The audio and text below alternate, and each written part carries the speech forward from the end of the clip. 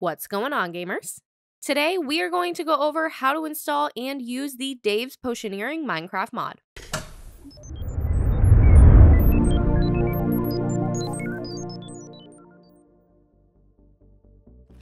Potions in vanilla Minecraft have limited uses, with drinking and splashing effects onto players being their primary ones.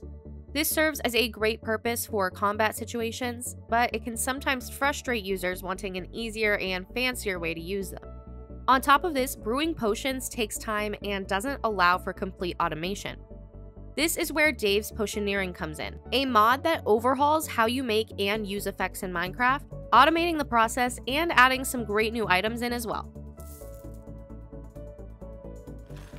To start the download process, head to Dave's Potioneering on CurseForge's website, and near the top of the page, click Files, and then find your desired version for the mod and press Download to the right hand side. Do the same for the GeckoLib mod because it's a required dependency. Now, before you get started with the client install, make sure you have Forge or Fabric installed onto your client. Once that's done, open your Minecraft launcher and head towards the installation section. Find your existing modded profile and then press on the folder icon to the right. And in the newly opened window, you can create or enter the mods folder. Drag and drop the downloaded files into this area and then return to the launcher and click play to start loading the mods. To start with the server install, head to your Apex panel and make sure you're running a server version that matches the mod that you downloaded.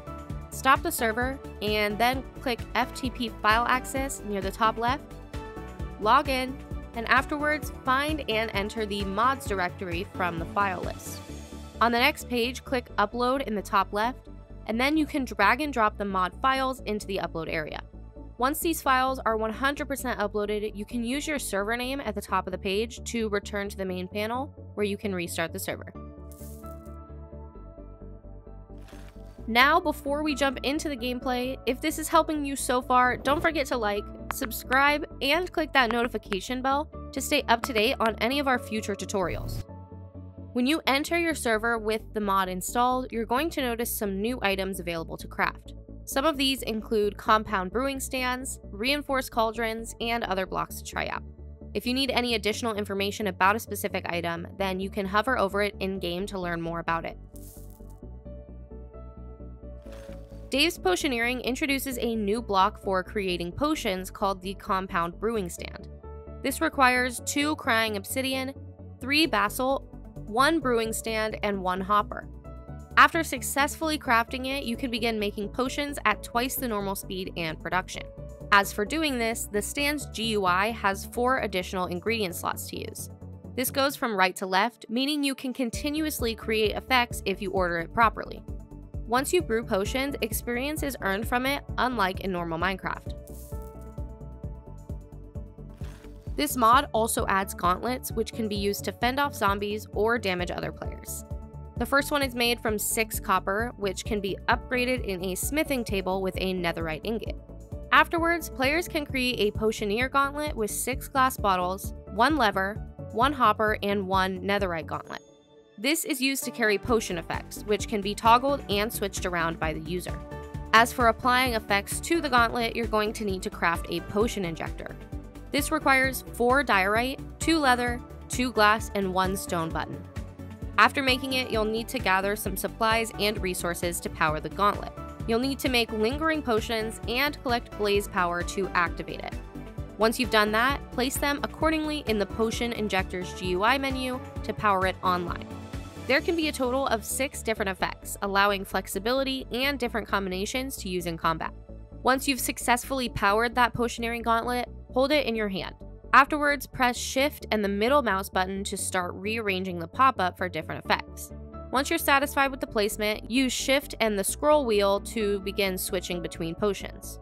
Finally, before you use it, you'll need to activate Blaze Powder, which you can do by Shift and right-clicking on your keyboard, which changes the appearance on the gauntlet to show that it's active.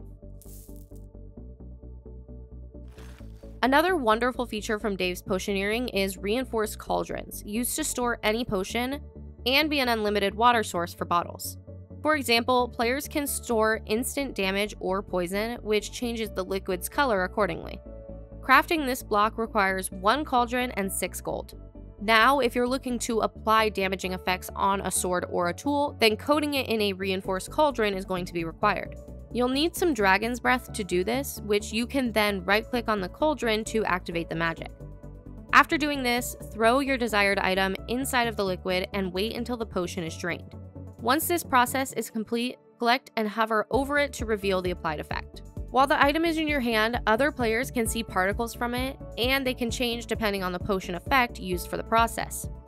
As for how many times you can wield it, there are a total of 25 charges, so you will have to recoat it after it runs out. Here are a few more extra items that this mod adds, but if you want to learn more about any of them or plan changes, you can check out the official roadmap that will be linked down below. Instead of using a bucket full of milk, players can choose to have milk bottles.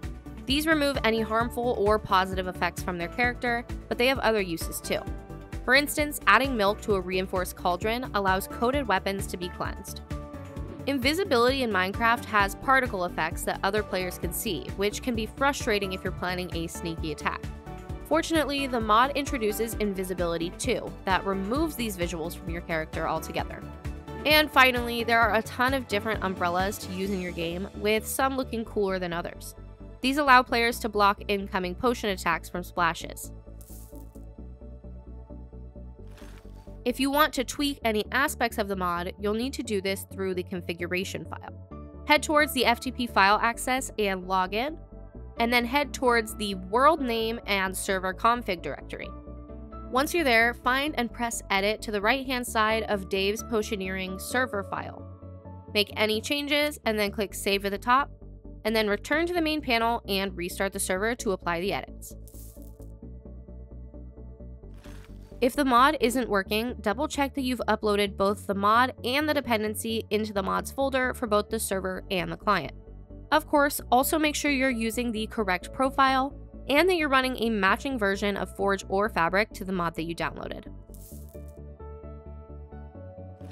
If you are looking for a revamp in the way potions are created and used, Dave's Potioneering mod is a great place to start. With the addition of potion automation and weapon coating, it's the perfect way to add something new to the server without changing the gameplay completely. Thanks for watching. If you want to see more great content like this, then subscribe or click these videos. Until next time, gamers.